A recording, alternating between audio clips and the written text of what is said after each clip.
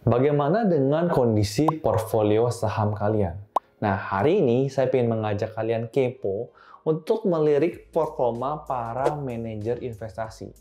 Mereka yang sudah berpengalaman untuk mengelola uang dengan jumlah ratusan miliar bahkan triliunan, bagaimana kinerja performa investasi mereka di reksadana pasar saham.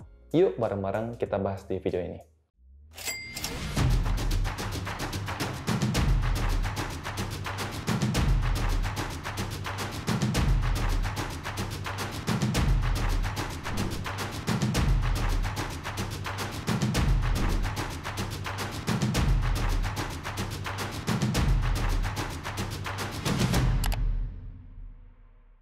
Halo, salam kenal. Nama saya Yusuf Arifin Yusuf. Bagi kalian yang baru pertama kali main ke channel ini, di channel ini saya bisa sharing tentang pasar saham, tentang investasi, tentang properti maupun seputar tentang bisnis. Nah, topik kita hari ini adalah tentang kita punya portfolio di saham. Kondisinya bagaimana sih? Nah, saya sendiri, kondisi saya masih dalam floating loss di beberapa saham. Cuman ada satu dua saham saja yang masih floating profit. Tapi secara total portfolio year to date itu saya masih minus. Berarti kinerja saya tidak sebagus daripada kinerja ISG. Kenapa? Karena year to date di mana video ini dibikin tanggal 16 Juli 2022, performa daripada IHSG itu masih plus 1,07%. Harusnya portfolio saya itu di atas daripada kinerja IHSG.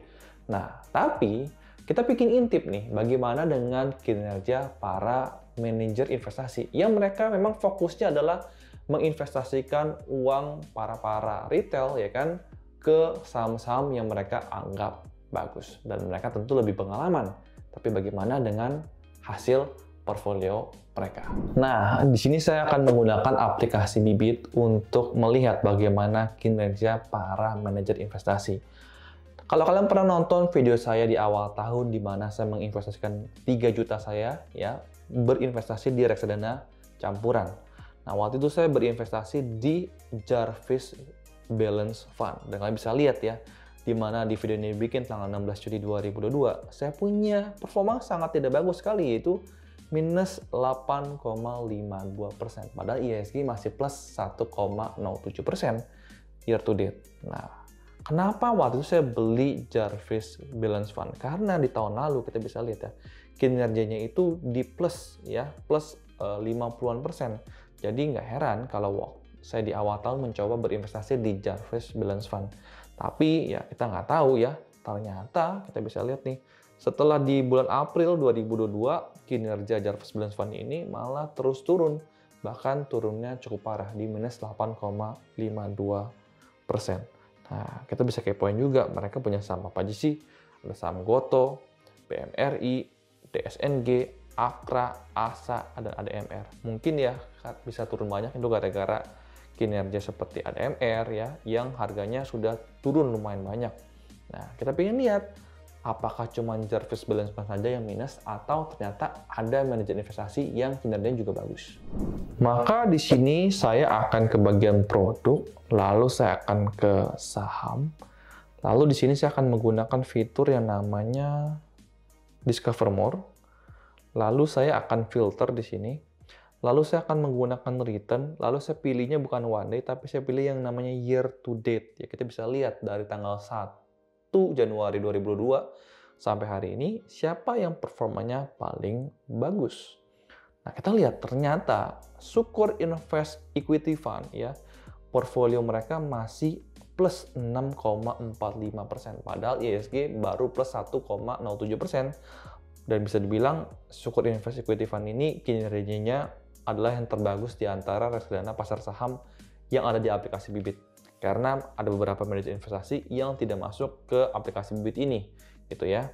Kita bisa lihat ada beberapa Afris dan segala macam. Ini total ada kita bisa lihat ada berapa ya? Hanya ada 2, 4, 6, 8, 10 ya. Hanya ada 10 yang uh, performanya di atas daripada ISG ya. Ada dua lagi yang uh, cuman plus 0,15 plus 0,17 dan satu lagi plus 1%. Nah, kita pengen lihat bagaimana dengan kinerja yang lain. Tadi kan, wah yang bagusnya doang. Apakah ada yang buruknya juga. Oke, sekarang kita lihat kinerja manajer investasi yang lain. Kita lihat nih, ada Sukor juga. Ternyata nggak semua Sukor bagus ya. Ada Sukor Invest Syariah Equity Fund minus 0,23 persen. Ya, dan ternyata di sini ada yang parah juga ya. Ada BNP Paribas Solaris minus 12,41 persen. Jadi kalau kinerja kamu nggak terlalu bagus ya kamu juga bandingin ya ada yang lebih parah daripada kalian gitu ya. Nah tapi kalau di, kita hanya bandingkan manajer investasi yang ada di bibit ya kita bisa lihat ada 2, 4, 6, 8, 10, 12, 14, 16, 18, 20, 22. Ada 22 yang minus. Artinya yang plus itu lebih dikit daripada yang minus. Jadi ya nggak heran ya sebenarnya kalau misalkan kinerja portfolio saham kalian tidak terlalu bagus per Juli 2022 ini. Nah, menurut saya pribadi, mungkin yang portfolionya masih cukup bagus sampai year to date sekarang itu salah satunya di portfolio mereka itu ada saham batubara. Kenapa? Saya mau contoh misalkan saham Adaro sampai sekarang year to date masih plus 20-an persen. PTBA masih plus 40-an persen.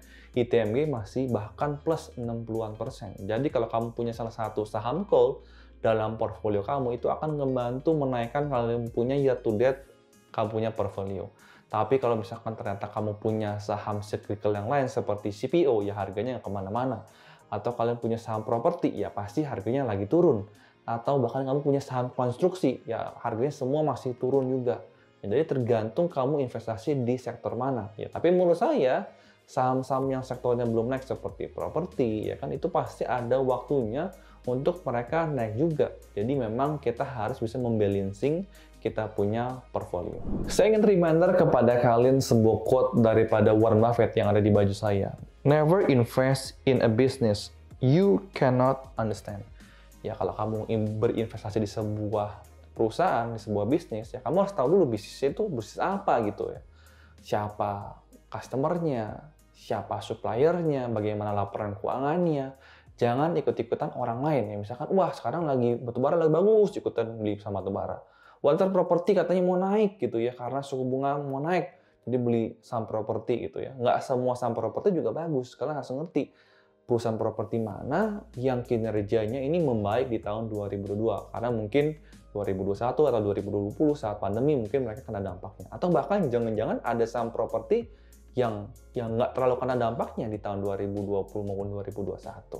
Oke, sekian video kita hari ini. Mudah-mudahan kinerja kita sampai akhir tahun di 2022 ini bisa membaik. Dan jangan lupa untuk terus belajar agar kita bisa menambah ilmu kita dan kita punya performa di portfolio kita juga semakin bagus. BTW, kalau kalian tertarik dengan baju seperti saya ini, kalian bisa main beli ke Tokopedia maupun di TikTok. Saya bakal taruh linknya di bawah di description. Bakal ketemu di video berikutnya. Salam cuan dan bye-bye.